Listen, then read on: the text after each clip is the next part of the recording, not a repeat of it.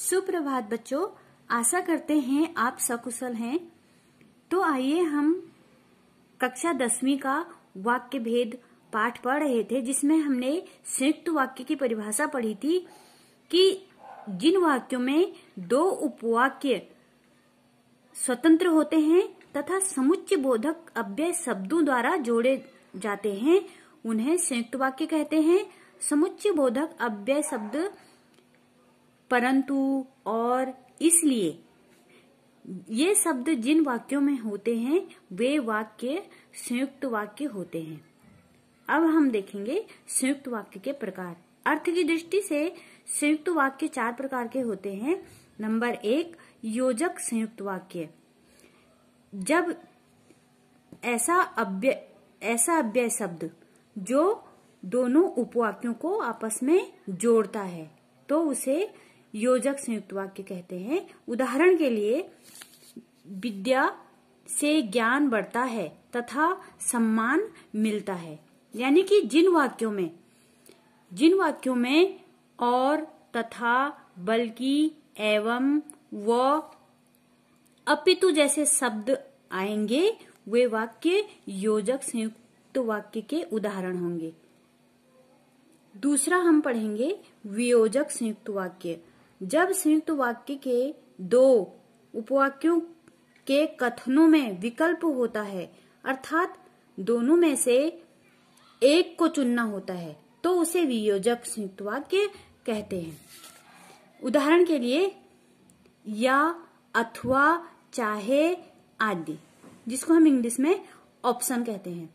यानी कि जहाँ पर हमको विकल्प, ऑप्शन मिलता है, वहाँ पर संयुक्त वाक्य का वियोजक संयुक्त वाक्य होता है।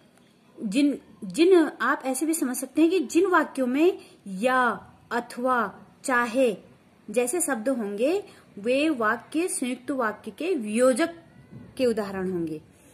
उदाहरण के लिए आपको समझा दें, तुम जा रहे हो या मैं जाऊँ, यानी कि इस वाक्य में ऑप्शन दिया जा रहा है कि तुम जा रहे हो या मैं जाऊँ।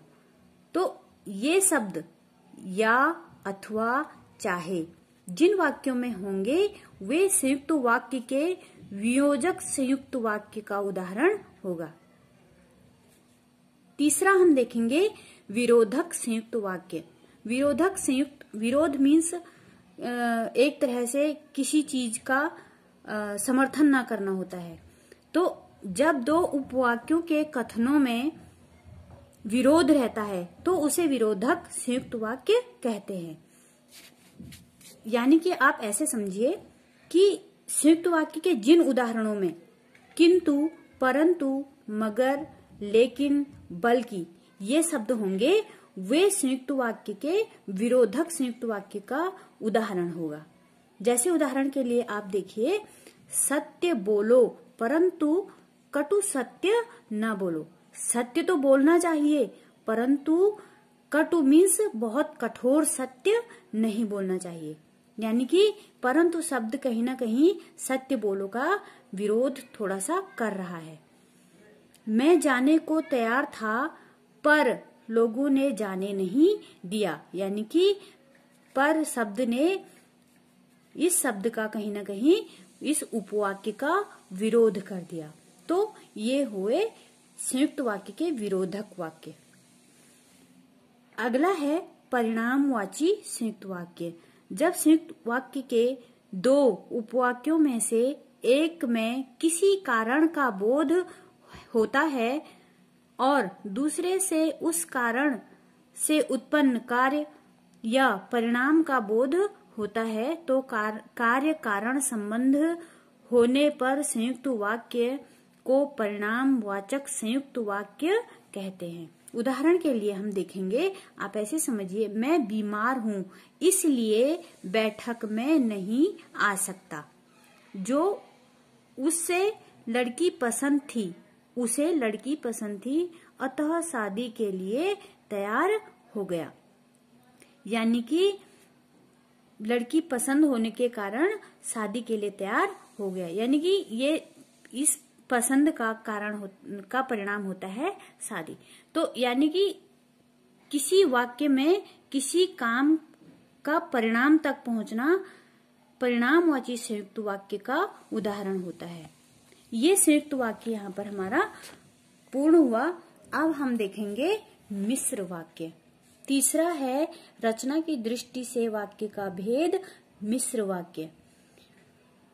पहले ही आपको मैंने मिश्र वाक्य और संयुक्त वाक्य का स्पष्टीकरण कर दिया था कि आप ऐसे समझिए, पूर्व में स्पष्ट किया गया है कि जिन वाक्यों की रचना एक से अधिक ऐसे उपवाक्यों से हुई हो, जो परस्पर आश्रित हों, तथा उनमें से एक प्रधान तथा अन्य वाक्य गौण हो।